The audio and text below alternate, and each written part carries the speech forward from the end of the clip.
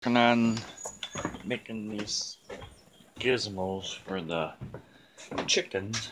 So when we go to butcher them, we stick them in these little cones. So I've been working on them. Pick up some metal from a pool, the skirting in the pool, and brought it home. And we've been using it. We use part of it for our goat enclosure, for the walls and stuff, and the and the roof. So I cut a lot of that up and used it for that. So now I'm gonna cut some patterns out to make some cones for our chickens. So when we're butchering our chickens, we can slide the chickens in the cones and just do what we gotta do so they're not flopping on a piece of rope or on the ground or anything like that. They're in the own little tubes. So see how that works. And I got some of the patterns already cut out. Tools I use. Got my tin snips, tin shears, whatever, whatever you want to call them. I got my rivet gun. I had to go to the hardware store and buy these little rivets. I don't know if you can see them or not. They're a little heavier dutier. So I hold it together. So that's what I've been using. And uh, a handy dandy tape measure. Gotta have that. The only thing I don't have is my marker. I forgot that. Which I'm good at forgetting things. But those are the main tools I've been using. Cutting the metal and the shape and putting everything together. So basically that's all all you really need. Time and patience and don't forget your gloves. Maybe some safety glasses if you want to wear them so you don't get a piece of metal in your eye. But that's it. And I'll show you guys later what uh, what they look like.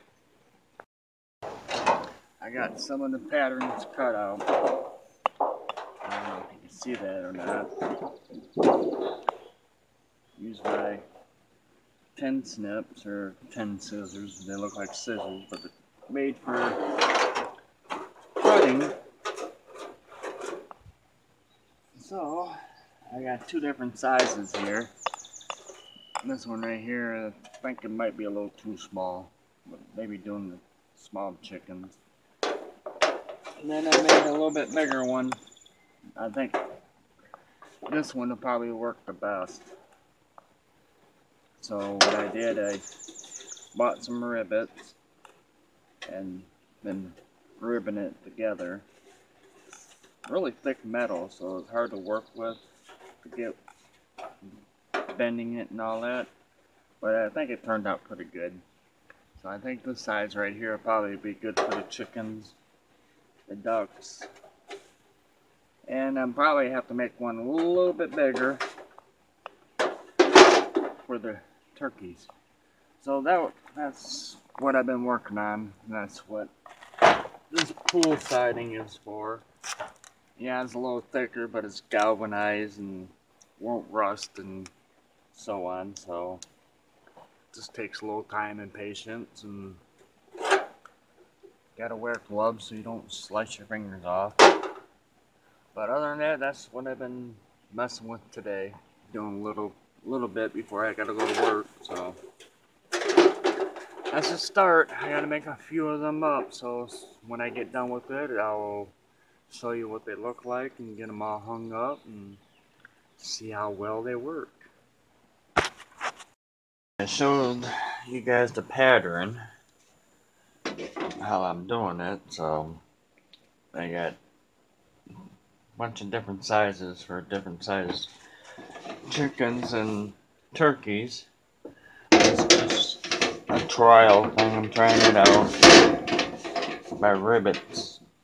I'm using rivets instead of sheet metal screws, and it seems to be working. It's not the best, but it's a start. The more I do, the better they're getting. But I twisted them up rivet together so when we hang them up on whatever on a wall or a board. The chicken actually slides in here so the head comes out here then you can do what you gotta do. That way they're in there and they're not flopping around they just drain the blood out and so on so. You see I use sheet metal screws and I'm not too fond about that so I'm gonna probably redo them just different sizes, trying different patterns. Some are going to be bigger than the others because we got turkeys and ducks and, and so on to put in there so when we go to butcher them I got a few more to do. I got the other one here getting ready to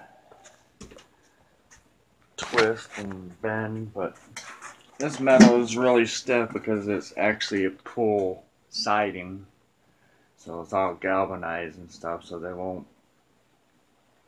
they shouldn't rust. They'll, they'll last a lot longer, so now I just gotta twist that around and, and they'll wind up looking like that. And I'm using rivets to hold it together, so like I said, it's just a trial and error. Got a pattern and something I gotta play with to get it just right. You know, yeah, I might have to go through a lot of metal and figure out a good system and